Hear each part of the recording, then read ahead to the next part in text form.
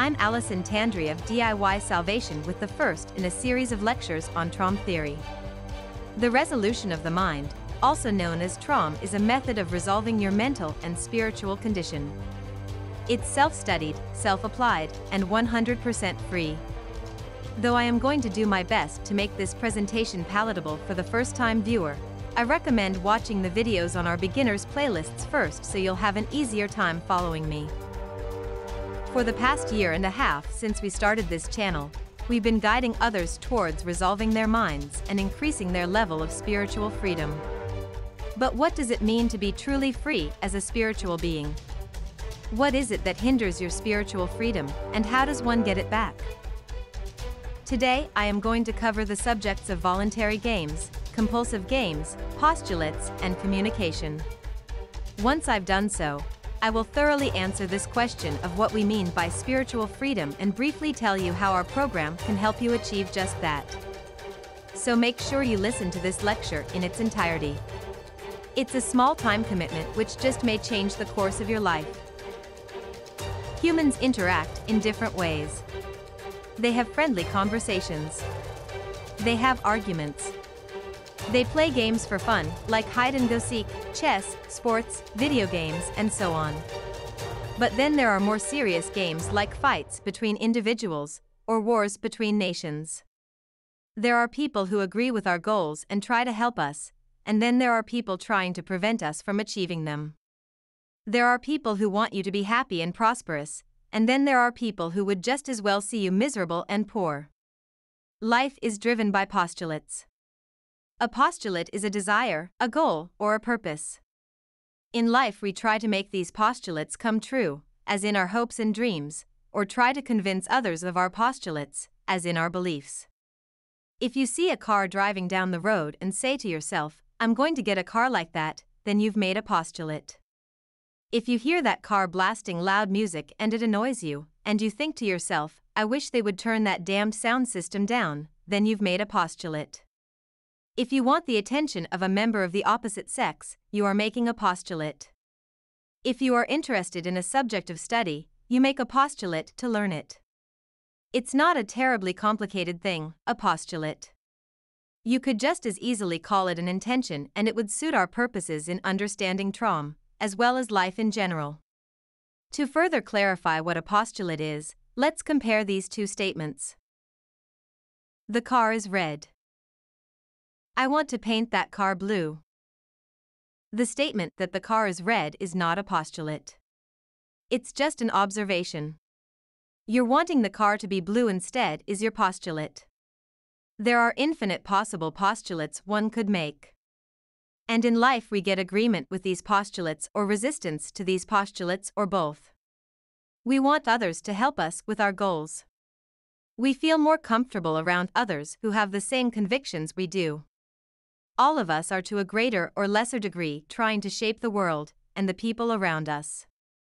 And when we aim to influence others, create things, share new ideas, and so on, we meet with resistance. If you overcome that resistance, you win. If the resistance overcomes you, then you've lost. This is life. It's a game. In TROM, we deal primarily with four basic postulates which help us not only resolve the mind, but understand life. These four postulates are to know, to be known, to not know, and to not be known.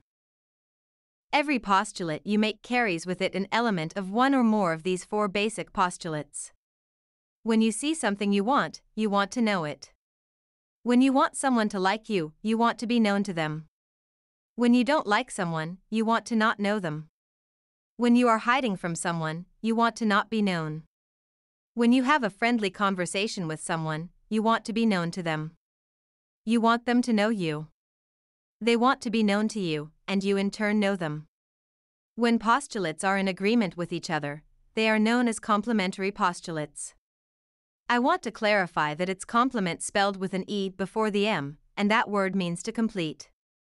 I don't mean the word compliment with an I before the M, which means to say something nice to someone else in admiration. When a postulate is thoroughly complemented, that postulate vanishes. When I want to be known to you, and you then know me, my desire for you to know me diminishes. When I want something and I get it, my desire for that thing diminishes. When I get rid of something I don't want around me, it no longer annoys me. The game is over, and the postulate ends with it unless I postulate that same thing again. In contrast to this, we have an argument. I want you to agree with my postulate, and you disagree with it. Either I will convince you that I'm right, or you will convince me that I'm wrong. Or both of us may stop talking to each other, with the conflict unresolved. In voluntary games, you and I agree to have a conflict just to have some fun, like if we were to play chess, or a sport, or something like that. In a compulsive game, the conflict is enforced by one or both parties, and instead of the game ending with a friendly agreement on who wins or who loses, one person forces another to agree with their postulate by overwhelming them with it. If you want to talk to me, but I never answer the phone or return your calls, and then you give up trying to reach me, I overwhelm your postulates to know me and be known to me by not knowing you and not being known to you. Or if I get tired of trying to avoid you, and finally do return your calls, then you have overwhelmed me into agreeing with your postulate to know me and be known to me. Now, if you and I had just agreed to play hide and seek, then this would be a voluntary game, and there'd be nothing upsetting about it. But when games like this play out in real life, they become more serious, and we call such compulsive games. Do you see where I am going with this? When you make a postulate, I can agree with it, disagree with it, overwhelm you into agreeing with my postulate instead, or be overwhelmed by yours. Or, the conflict could just continue until the end of time, if only in my mind and in yours. And in this compulsive gameplay, whether I overwhelm you or you overwhelm me or the conflict just continues, is the very thing that glues the soul to the mind, and hinders our happiness, our well being, and our freedom as spiritual beings. TROM therapy aims to relieve you of the suffering caused by playing compulsive games in life. You do this by first comparing your past to your present in order to reduce the importance of upsetting people, objects, and events. In the advanced levels of TROM, you work on handling times you were overwhelmed by others, or you overwhelmed them. And finally, you explore the postulates you made and the postulates that others made to oppose you.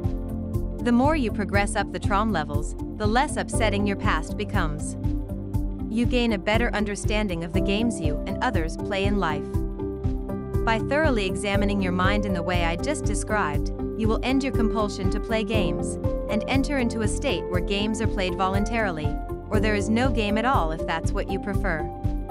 And that is what we mean when we talk about resolving your mind, resolving your spiritual condition, and attaining greater levels of spiritual freedom. I'm Allison Tandri. We are DIY Salvation. Don't just use your mind. Resolve it.